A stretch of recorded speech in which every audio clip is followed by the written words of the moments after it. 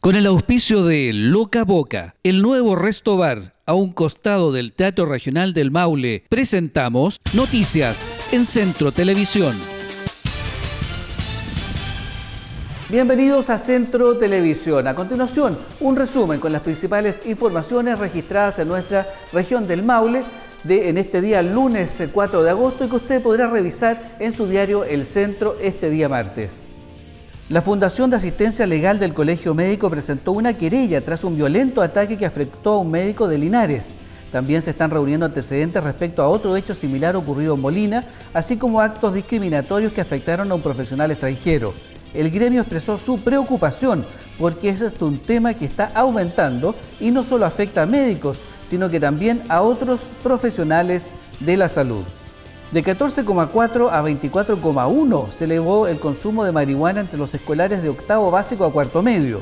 Si bien la proporción es menor en las regiones como la metropolitana, Biobío y la de O'Higgins, en el Maule el uso es significativamente mayor en hombres que en mujeres, con un 27,3% y un 21,1% respectivamente. Además, el consumo es significativamente más alto en los cursos mayores en comparación con los cursos menores. 1.400 jóvenes de 34 establecimientos de la región participarán en la octava temporada de los viajes de estudio, que incluyen viajes a Viña del Mar, Valparaíso, Pucón, Villarrica, durante los años 2014 y 2015.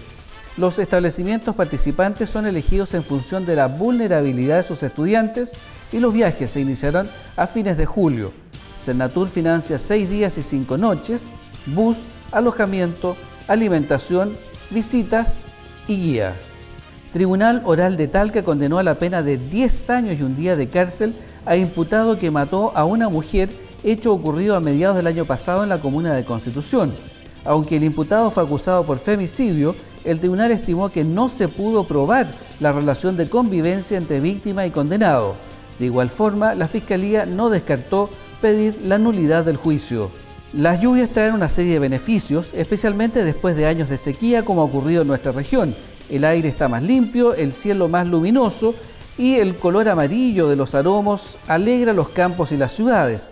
Sin embargo, también florecen los hoyos en las distintas calles de nuestra ciudad, generando un peligro extra para los sufridos conductores que además deben bregar no solo con el tránsito, sino también con estos eventos.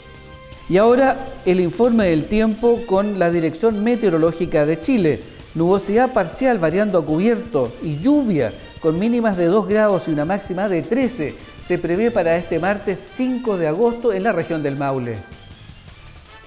Y eso sería todo por ahora. Muchas gracias por informarse con nosotros y recuerde www.diarioelcentro.cl donde usted encuentra la información de nuestra región del Maule.